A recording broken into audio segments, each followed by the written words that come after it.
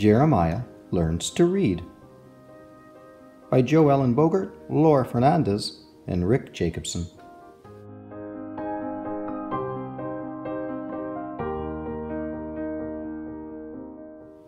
Jeremiah knew how to build a split rail fence, and he knew how to cook buttermilk pancakes, but he didn't know how to read.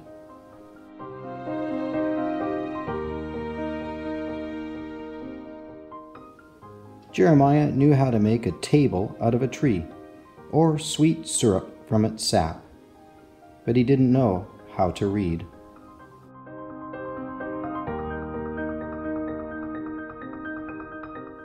Jeremiah knew how to grow beautiful tomatoes, long green cucumbers, and juicy cobs of corn, but he didn't know how to read. He knew the tracks of the animals and the signs of the seasons, but he didn't know the letters and the words.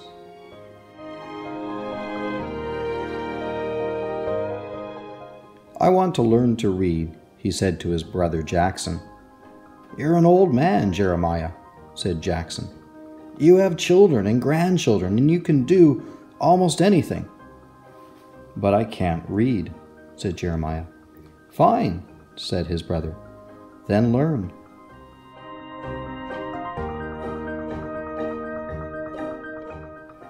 I want to learn to read, Jeremiah said to his wife Juliana.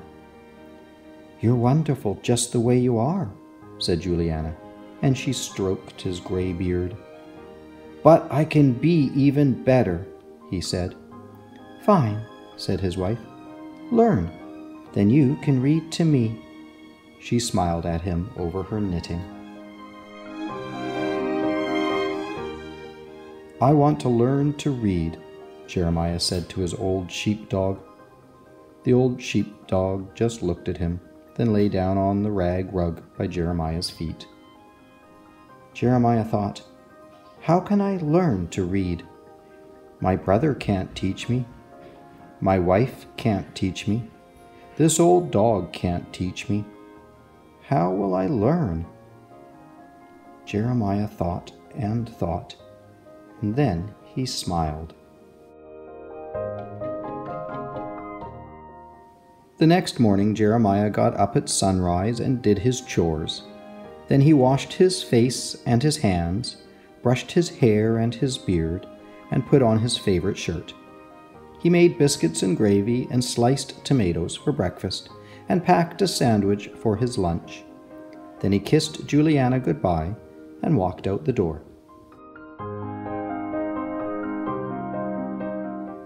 He joined a group of children walking down the tree shaded lane.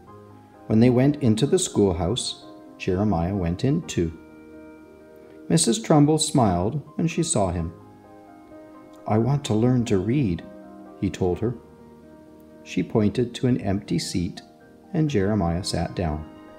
Class, said Mrs. Trumbull, we have a new student today.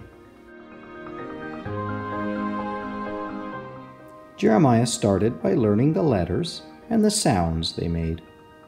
Some of the children helped him. At recess, he sat under a tree and told stories. He showed Sarah and David how to chirp like a chickadee and honk like a goose.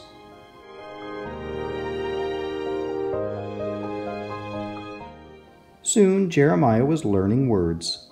He studied his lessons carefully he practiced his writing every day. Jeremiah loved it when the teacher and the older children read to the class.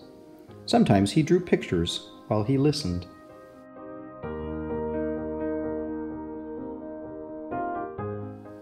Jeremiah was learning, but he was teaching too.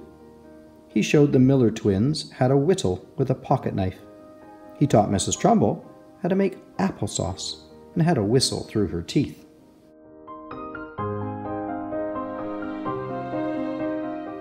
After a while, Jeremiah was putting words together and writing his own stories. He wrote about saving a baby squirrel. He wrote about swimming in the river. He wrote about the day he met his wife. Juliana watched Jeremiah practicing his writing on the table after supper. When are you going to read to me? she asked. When the time is right, he answered. One day, Jeremiah took a book of poems home from school. The poems were about trees and clouds and streams and swiftly running deer. Jeremiah hid it under his pillow. That night, when he and Juliana went to bed, he pulled out the book.